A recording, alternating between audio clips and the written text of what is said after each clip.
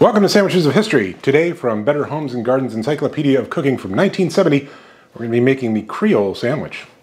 First thing we have to do is cook a breaded uh, fish fillet according to package directions, which in this case is in an oven. All right, while the fish is cooking, let's make the rest of the sandwich filling.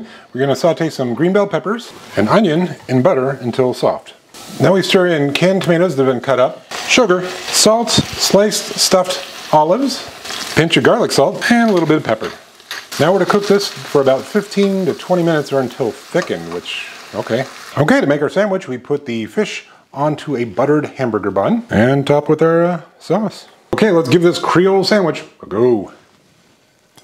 That's pretty good, actually. I thought maybe because it used garlic salt and salt, it was gonna be too salty, but the bun and the fish are handling it nicely. And it's just a tomato sauce, basically, with a little onion and green pepper. It's actually pretty good. I do want to plus it up a little though. I'm to add some chili flake. Bring a little heat to the party. Why not?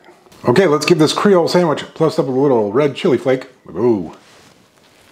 Goes well with everything in there. Olives, tomatoes, fish. Mm. I gotta say, the Creole sandwich, atypical for a fish sandwich, especially one that uses a frozen fish fillet, but it was tasty. It was good. Um, I'm gonna give the original, I think, probably about an eight. Plus up a little uh, chili flake, eight and a half. That is delicious. I am going to finish that. And I'd make this again for lunch, sure. It's tasty. All right. See you tomorrow.